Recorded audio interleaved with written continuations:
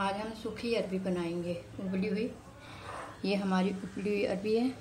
ये कच्ची है। इसके लिए हमें चाहिए प्याज, हल्दी, अजवाइन, नमक कमचूर लहसुन, सूखी धनिया, हरी धनिया और मेथी दाना।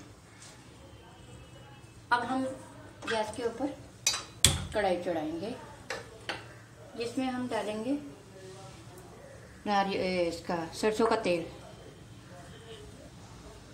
अब हमारा तेल गरम हो जाएगा तो उसमें एक चम्मच डालेंगे मेथी दाना, लहसुन। ये लहसुन ब्राउन हो जाए, फिर इसमें हम डालेंगे प्याज। प्याज डालेंगे, उसके बाद हम ये ब्राउन होने तक भूनेंगे। ये अभी हमारा प्याज ब्राउन हो रहा है। इसके बाद हम ब्राउन हो जाएगा तो फिर हम डालेंगे एक चम्मच सूखा धनिया, एक चम्मच हल्दी, एक चम्मच नमक, एक चम्मच अजवाइन, एक चम्मच अमचूर। बस, अब इसको मिक्स करेंगे हम। ये सभी हमारे सूखे मसाले हैं।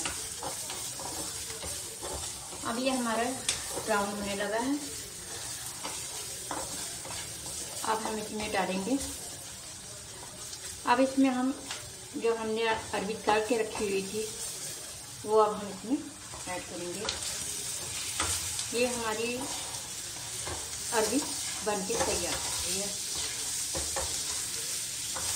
अब ये रेडियो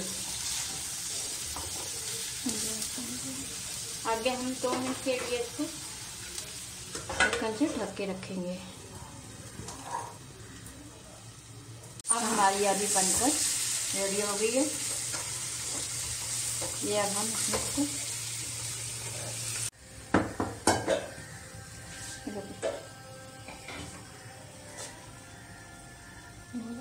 अब इसमें हम सूखा धनिया फैलाएँ ये अब आप खाइए अपने परिवार को खिलाइए और हमें बताइए। हमें बताइए कि ये कैसे